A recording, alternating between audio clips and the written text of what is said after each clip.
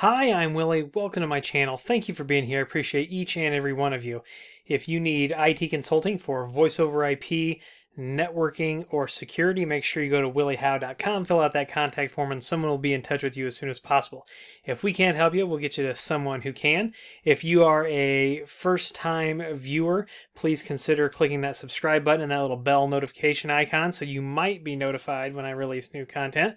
If you're a returning subscriber or viewer, thank you very much. What we're going to talk about tonight is we are going to set up a paging group in our Grandstream UCM. Somebody wanted to see how this is done, so I figured we'd do it real quick.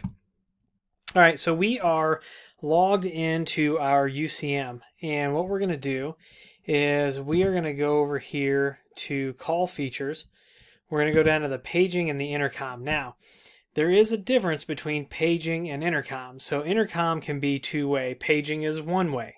So if we want to page, we don't want people to be able to talk back. We just want to be able to push our voice. Intercom is a two-way conversation. So you can see that it's got uh, some options that, uh, for the uh, paging and intercom groups. And there's also some feature codes. So you can set up a feature code uh, to do this. So we can go over here. And if we go to feature codes, you can see, let's see here.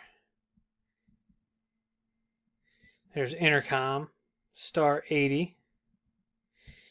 Paging is star 81. So you can do you can do this this way or we can come back over here and we can create this group. You can also do scheduled paging. So we're going to click add and we're just going to call this uh, default page group and we do not want it to be a two-way intercom. We want it to be one-way paging. Now your options here are multicast, which we'll do a whole other video on multicast, two-way intercom, one-way paging, or announcement paging. So we're going to do one-way paging. Now here you have to select an extension that is going to be dialed to do this. So we're going to put extension, uh, I think I can use like extension 6060. And then what we're going to do is we're going to say, you know, how many or who are going to be the members of this paging group. So we're just going to select everybody.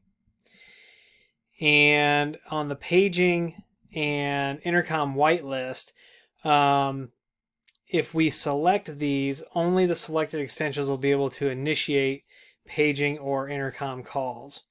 So we're not going to select any, so that means that everybody can do paging. And now we're going to go ahead and save this, and we're going to apply it and I should be able to use that 6060. So what I've got here is I've got my cordless phone, so I'm going to turn it on. And I'm going to do 6060. And when I do that, everybody else uh, should be getting a call right now, and I could hear it. So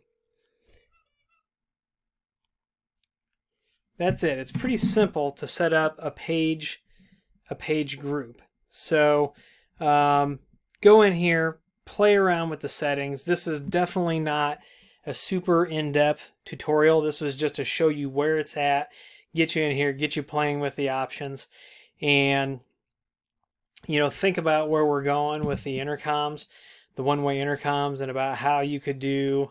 Uh, maybe you have these one-way intercoms and at three o'clock that's when school's out maybe you're playing a bell who knows you can get so um, intricate with some of these these things but uh, definitely get in there check it out this specific example may not work for you depending on how you have everything set up but definitely get in there and take a look at it and that is it for setting up a quick paging group in your UCM. If you like the video, please give me a thumbs up. Please subscribe. Please comment and share.